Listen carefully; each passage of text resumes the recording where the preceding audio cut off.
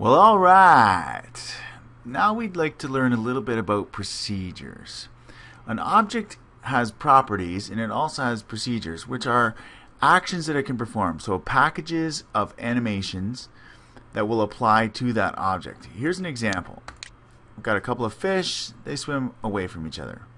Fish swim, bipeds walk, quadrupeds walk as well, but they use four legs. If we were to take a look at the beginning of this animation, I have a clownfish. I delay a half a second just to let the Alice program render the screen.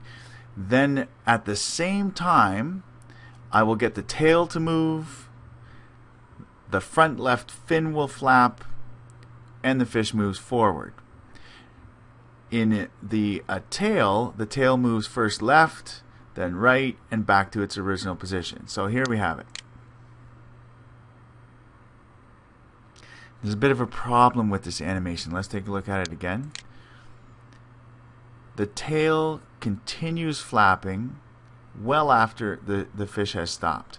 Now, when you have parallel animations, animations that are occurring at the same time, it's important that we get the timing of these animations to synchronize. So the, the one movement forward takes one full second. By default, each animation takes one second, which means that the fins flapping, one second plus one second gives me two seconds. Now I need that to occur at the same time as the one full second of the fish moving. So I will add detail, select duration to a half second for each of these two animations. Now when they are done in order, half second plus a half second gives me one full second, which matches the clownfish moving forward with one whole second. There's three movements to the tail. To get the tail to work properly, let's say that moving this section here will take a quarter of a second. I got a half a second to move all the way back to the other side, plus a quarter of a second. Gives me a total of one second at the same time, it takes one second to do this parallel task and one second for the move forward. Now let's take a look. So the fish moving forward, moving its tail, occurs at the same time. It would also make sense to me if the fish not only moves forward, it's going to coast in the water after it's done. So I can get the clownfish, get him to move forward after he's done about a half a meter.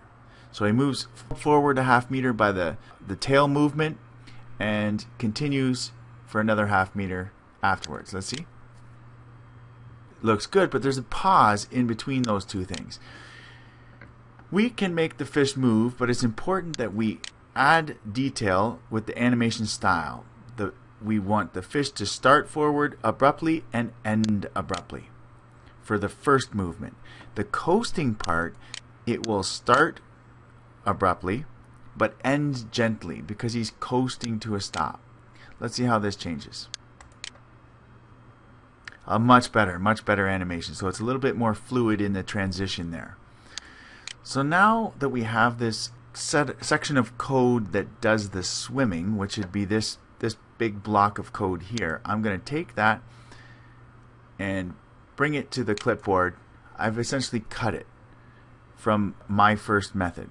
When I select the procedures box, I want to create a package of code for all fish, not just my clownfish, not just the blue tang, but for all fish. Add a fish procedure, and let's call it swim. Now it gives me, beside the fish tab, a swim procedure tab and I can drop my animations in here. Let's go to the clipboard, bring back that big block of code.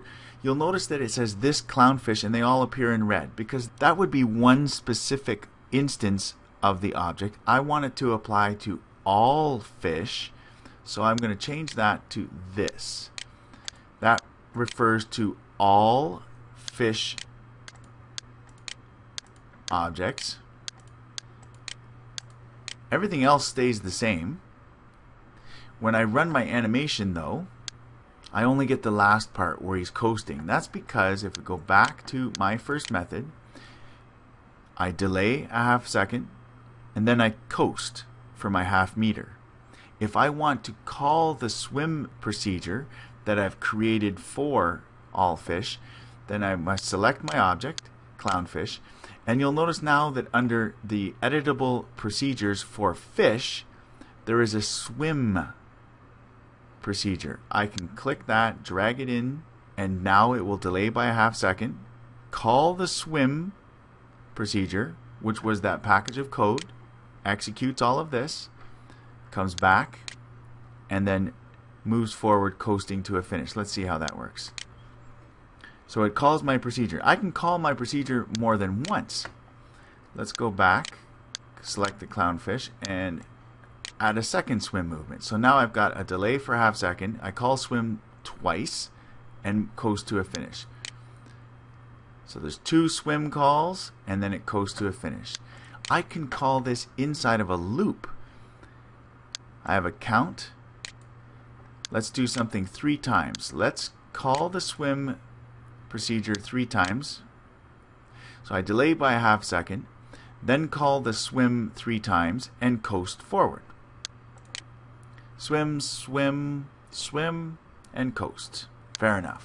Now the power of the procedure as we've designed it is that it applies to all fish.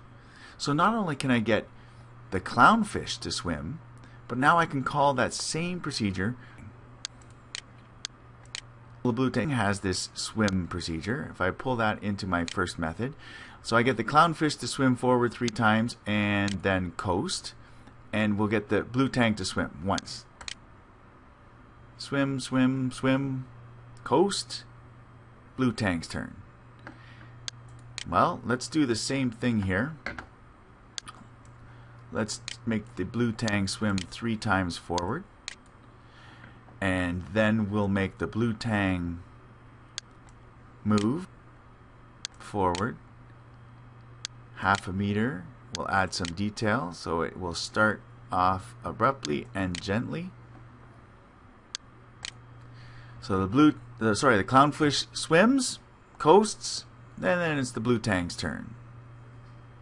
If we wanted these two, two th things to happen simultaneously then we have to set up a few programming tiles that we'll do in order. Let's get this would be the one for the clownfish. Another one for the blue tang.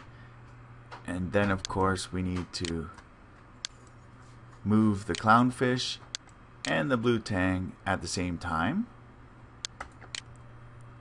So we have effectively called our procedure for both fish.